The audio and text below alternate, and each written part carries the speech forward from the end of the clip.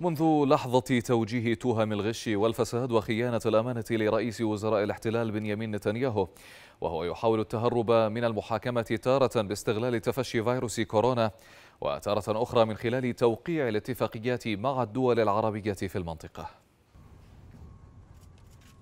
في الوقت الذي يحتفي فيه بنيامين نتنياهو بما اعتبره بالإنجاز التاريخي بتوقيع اتفاقي الإمارات والبحرين في واشنطن يوم الثلاثاء المنصرم.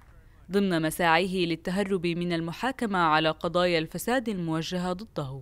تتواصل الاحتجاجات المطالبة باستقالته. وسط تراجع واضح بشعبيته في معسكر اليمين الذي يرأسه منذ 22 عام. الفجوة تتسع بين شريكي الائتلاف الحكومي. بروتوكوليا يفترض الذي يشارك في التوقيع هو وزير الخارجية أشكنازي.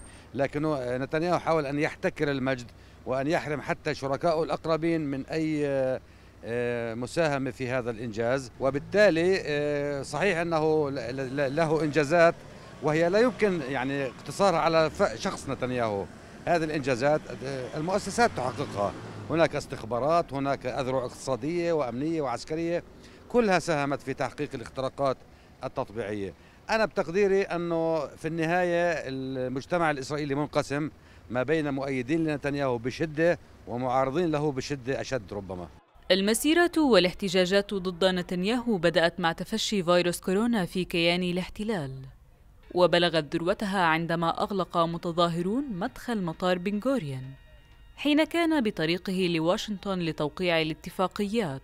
إذ يرى المتظاهرون أن نتنياهو قد فشل بإدارة ملف الكورونا سيما بما يتعلق بالشق الاقتصادي ووجود 800 ألف عاطل عن العمل في كيان الاحتلال. سياسة إدارة الحكومة الإسرائيلية لأزمة كورونا كان فيها تخبط. يعني في البداية هو انحاز لأرباب العمل ورجال الاقتصاد على حساب توصيات وزارة الصحة ثم اضطر أن يرضخ لبعض التوصيات الصحة غير عدد من المسؤولين عدة مرات.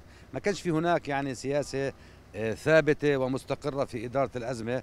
والنتيجة أنه لدينا الآن أعلى معدل إصابة بالعالم يعني أكثر من خمسة ألاف إصابة بالأمس. وبالتالي إسرائيل يعني بالنسبة لعدد السكان نسبة الإصابات عالية جدا جدا. والنتائج الاقتصادية ستكون آه، سيئة جدا. أنا بتقديري آه، ستزداد الانتقادات لهذه الحكومة وعلى إدارتها الفاشلة لكل الملفات بما فيها الكورونا. ورغم محاولاته المستمرة للتهرب من المحاكمة على قضايا الفساد الموجهة ضده إلا أن المستشار القضائي لحكومة الاحتلال طالب بتعجيل إجراءات المحاكمة والتي من المفترض أن تبدأ في كانون الثاني المقبل بواقع ثلاث جلسات أسبوعياً. من فلسطين المحتلة. آية الخطيب رؤيا.